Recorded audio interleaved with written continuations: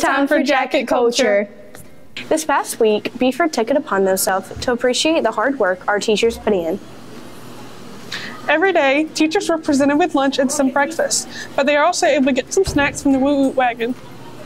Chorus had a concert last week and the members received rewards.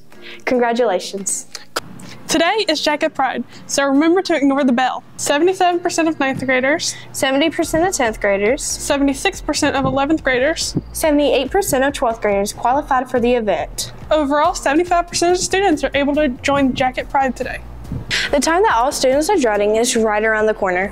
Next week will be the first week of the EOCs. Be sure to get plenty of sleep and a good breakfast. Work hard and stay strong.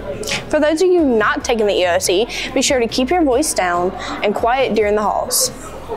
Track has a big weekend at the 2A Lower State qualifiers. Wish these students some luck. Just as a reminder, senior awards are on May 14th. A few of our Buford students graduated with their college diploma a month before their high school diploma. Way to go, Jackets.